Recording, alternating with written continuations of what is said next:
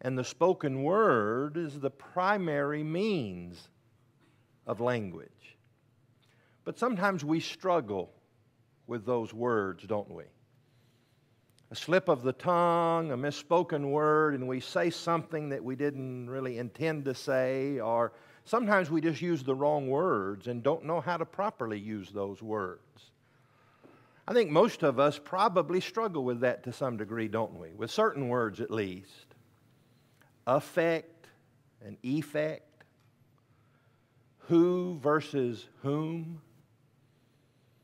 What's the correct spelling of this usage of the word capital or of complement? And to those of us who struggle at knowing what's the right word to use in every time, especially when we're writing, we just simply say, there, there, there. But I want to talk about two words that I think we maybe more often than any other misuse.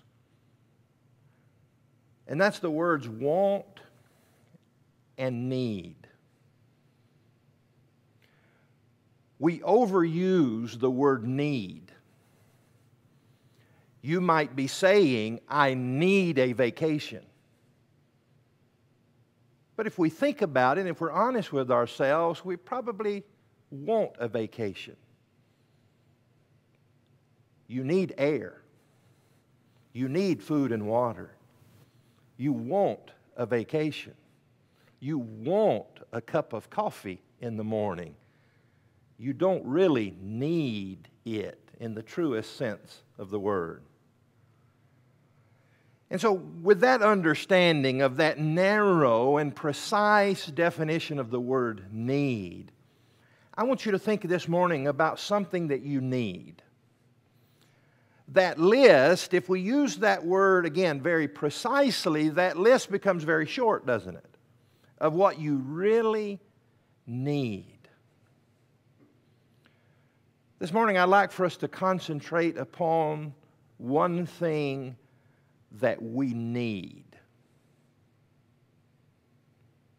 One thing we're going to see that we desperately need, and one thing that our God delightfully and abundantly gives.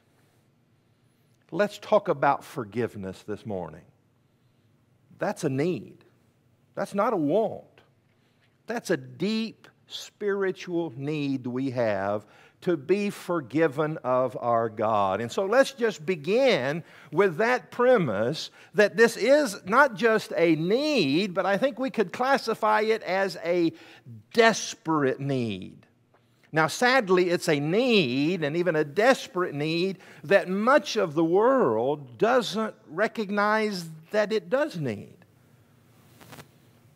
I want to begin with two very familiar passages of Scripture this morning, both from the book of Romans. Romans chapter 3, you know where I'm going, don't you? Romans 3, verse 23, speaks of the need, the universality of that need, when it says, Romans 3, verse 23 says, For all have sinned. If we don't understand the import of that, and what exactly that means, the apostle goes on to say, and have fallen short of the glory of God. We've fallen short of the glory that God intended us to have, and we fall short of His eternal and matchless glory because we have sinned. Couple chapters further in the book of Romans, another familiar text in chapter 6, verse 23, helps us understand the weight and the gravity of that statement that we have sinned.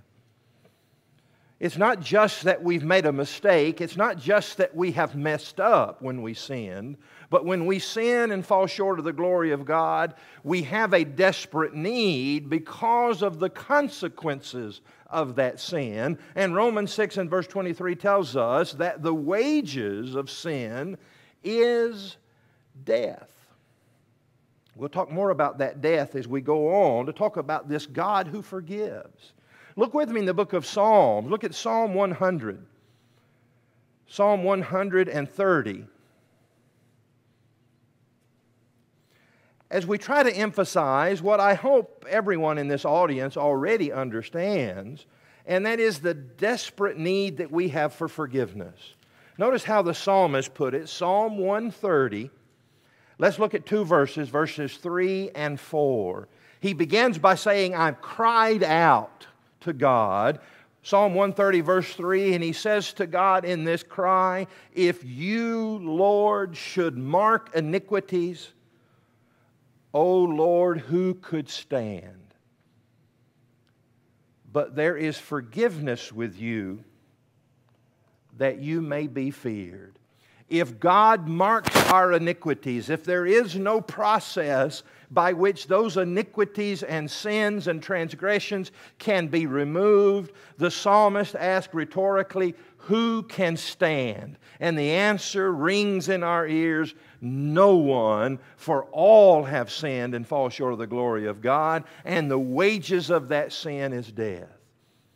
And so, do we understand our plight and that this is a situation that clearly fits under the category of need.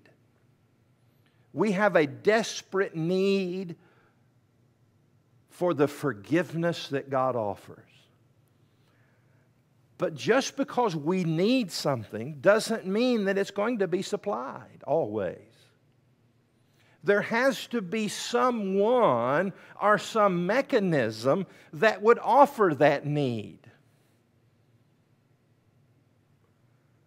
And thanks be to God, there is a mechanism. And there is one who forgives. But not only does God forgive, the scriptures are clear in this fact that not only does God offer forgiveness, that He delights in showing mercy. Have you ever done something or given something to someone else, but you did so reluctantly? You didn't really want to do it. Maybe you felt compelled or obligated. Maybe there was some kind of law or social pressure that made you feel like, okay, I've got to do this, I need to do this. And you did it, but you didn't really want to do it. Paying taxes may come to mind. Something that you do, and you do because there's an obligation. You may do that because there's a law. They'll come and get you if you don't. Or you may do it out of some kind of civic or patriotic pride, but you didn't really just delight in doing that. Contemplate the fact that sin is a rebellion against the very nature and the glory of God. But God not only offers that forgiveness, the scriptures tell us that He delights in offering that forgiveness. Go with me in the Old Testament to the book of Micah. In Micah chapter 7, we'll see that point emphasized in maybe an unlikely place.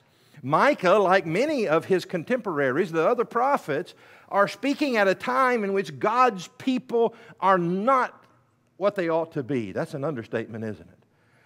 God's people are not what they ought to be. And in fact, these prophets are sending the message not only are you not what you ought to be, but because you are so bad at being what you ought to be, God is going to punish you and even punish you severely. But in the midst of that pronouncement of condemnation and judgment, God so often gives hope. And Micah the prophet does that. As he's railing against Jerusalem and the people of God and their sins, notice the, the hope that he offers in Micah chapter 7. Begin with me in reading verses 18 and 19.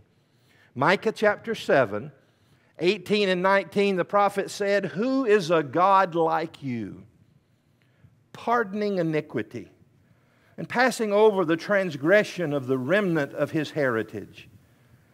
He does not retain his anger forever because he delights in mercy. He will again have compassion on us and will subdue our iniquities. You will cast all our sins into the depths of the sea. Micah, after condemning the people, or God through Micah condemning the people, judging the people, outlining the penalty for their sin, says, But you will not retain your anger forever. Who is a God like you who delights in mercy? I want us to get the picture of our God this morning of not just a God who judges and condemns sin and not just a God who gives an out for that, not just a God who offers a means of forgiveness and salvation, but I want us to picture a God who, when offering that means of forgiveness and salvation, does so with delight. He is a God who delights in mercy. Think of just a little bit about that word. We're talking about language being the vehicle for thought and words being the means of that language. Think about that word delight. What's something that you delight in? That you truly take joy in doing and experiencing? That's the word of the inspired prophet that says God not only offers forgiveness, he doesn't do so reluctantly. He doesn't do so because he feels compelled and forced to do so. He does so with delight. Isn't that a powerful thought? And not only does he delight in doing it, notice the severity, the strength at which he does that. He says he will cast our sins into the depths of the sea. Those sins are not set aside just slightly. They're not alphabetized and put in a file folder to be pulled out later to be used against us. By the way, sometimes we do that when we claim to forgive someone, don't we? Oh, I forgive you, but I'm going to file that away because I may need that as ammunition later. God delights in mercy and He takes our sins from us and takes them to the middle of the ocean and binds them up and weighs them down with an anchor and drops them, and they drop to the depths of the sea. How deep is the ocean? How far away does God cast our sins? The poet said, He cast them as far as the east is from the west. That's how far God removes our iniquities and our sins from us. And so He delights. And this is illustrated in the New Testament, is it? Turn over to Luke chapter 15. You know Luke 15 for the story of the three parables that have to do with forgiveness and God's attitude and that's the point of Luke chapter 15. We're not just seeing three parables, three stories about forgiveness. We're not just seeing three stories about God restoring someone who is lost. We're seeing three stories that illustrate how God feels about that. And really, how that is contrasted with the attitude of the Pharisees. Look in those first two stories very quickly in Luke chapter 15. Look at the joy over finding that lost sheep and that lost coin. Look in Luke chapter 15, verses 6 and 7. And when he comes home, he calls his friends and neighbors, saying to them, Rejoice with me, for I have found my sheep which was lost. Jesus adds, I say to you that likewise there will be more joy in heaven over one sinner who repents than over 99 righteous persons who need no repentance. Rejoice with me. That's the picture of our Father in forgiving us. Look at the next story, Luke chapter 15, verses 9 and 10. And when she had found it, she calls her friends and neighbors together, saying, Rejoice with me, for I found the piece which I lost. And Jesus adds, Likewise, I say to you, there is joy in the presence of the angels of God over one sinner who repents. can we picture that scene in heaven.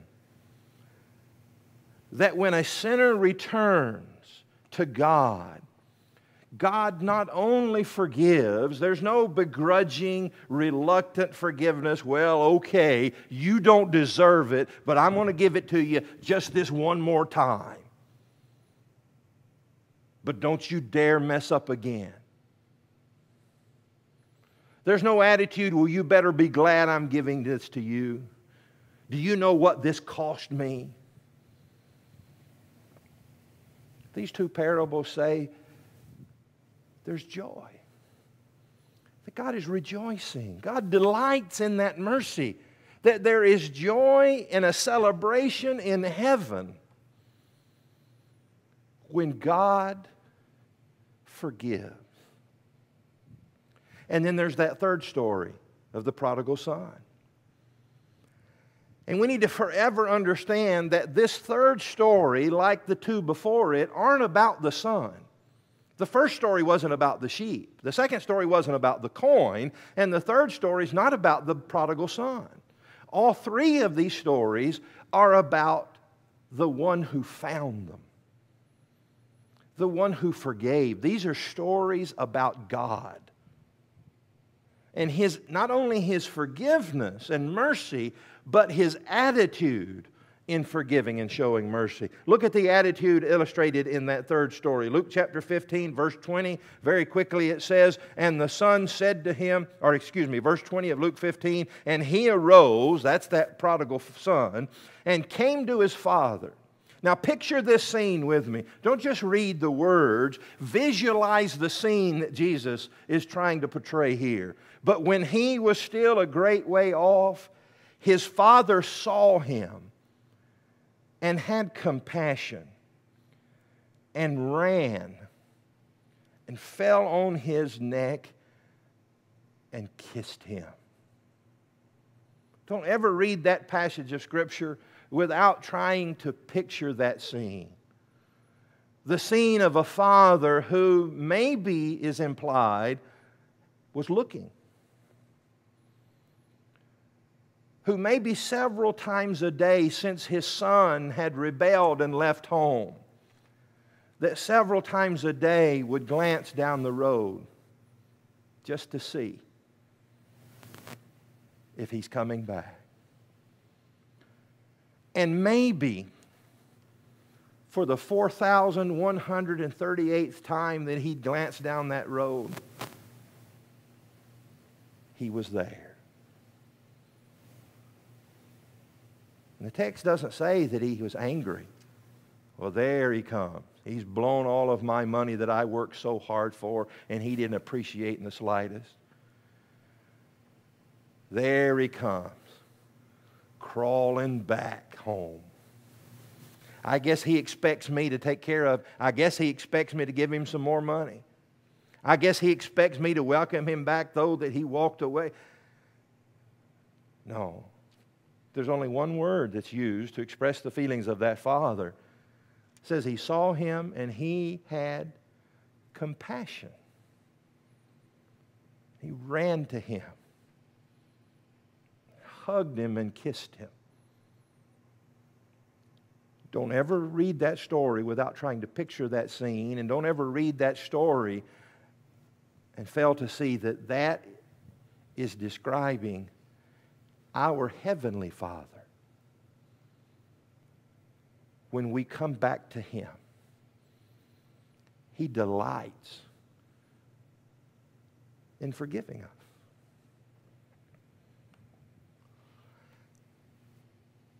And it follows that if we have this desperate, deep need, and we have a God who is love and who delights in showing mercy, then shouldn't it follow that not only will He extend that forgiveness, but He will shower us with that forgiveness? The scriptures not only tell us that God forgives, and not only that He forgives delightfully, but that He forgives abundantly. Look with me back up in the Old Testament again, this time in the prophet Isaiah. Again, isn't it interesting that these prophets, who we often speak of as the portrayers, the speakers of doom, of judgment, that there's so many times the references that we go to to speak of the forgiveness and the love and the mercy and the restoration and the salvation that God offers. In Isaiah chapter 55, look at verses 6, 7, and 8. Isaiah 55, in this invitation to an abundant life that the prophet extends, he says, Isaiah 55, verse 6, beginning, Seek the Lord while he may be found, call upon him while he is near. Let the wicked forsake his way, and the unrighteous man his thoughts. Let him return to the Lord, and he will have mercy on him. And to our God, for he will abundantly pardon. For my thoughts are not your thoughts, nor are your ways my ways, says the Lord. You know, so many times we quote verse 8 there of God's thoughts and ways not being ours. And we think of that, the idea of God is so wise and so all knowing. He is omniscient, and we're just puny little creatures and we don't know anything, we don't understand anything. And certainly there's an application to be made. That is true. But when he says, My ways are not your ways and my thoughts are not your thoughts, he's not just talking about, I'm so much wiser and all knowing than you. He's talking about his thoughts and ways when it comes to pardoning. That God doesn't hold those grudges. That's our ways and our thoughts. God doesn't withhold mercy. That's our ways, that's our thoughts. God says, You come to me and I will pardon you abundantly because I'm not like you. God forgives abundantly. What that tells us is it doesn't matter the severity of the sin. It doesn't matter the number of sins that we may have committed. God says, Come to me and I'll forgive. Again, the New Testament speaks of that as well. Look over in the book of Romans, chapter 5 in Romans chapter 5 and showing how that sin entered through man, Adam, and salvation, this forgiveness that we've been talking about all morning, entered in through the person of Jesus Christ.